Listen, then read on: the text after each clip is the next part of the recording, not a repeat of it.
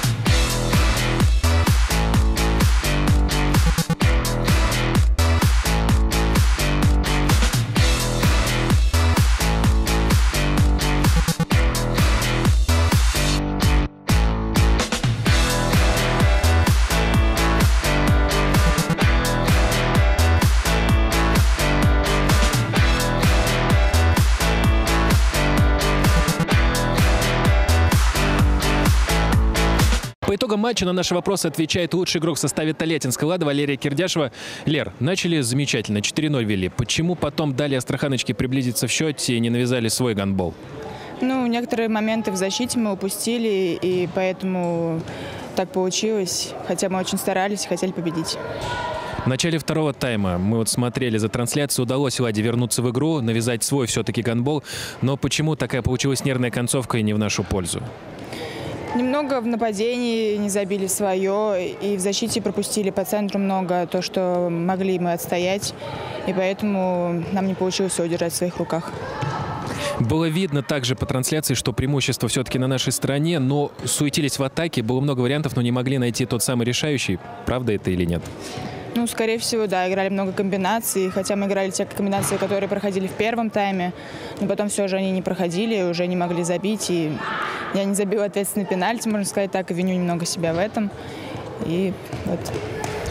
Предыдущий матч мы играли с аутсайдерами турнирной таблицы. Сейчас более-менее у нас Астраханочка, Ростов приближается. Как э, подготавливаться к таким матчам? Больше нужно тренироваться или все-таки сосредоточиться на психологии, что впереди сильные соперники? Ну, усердно будем тренироваться. Мысли перед Кубком ЕГФ настраиваемся?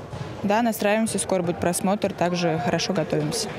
Спасибо большое, удачи, удачи в дальнейших матчах. На наши вопросы отвечал лучший игрок в составе Толятинской «Лады» Валерия Кирдяшева.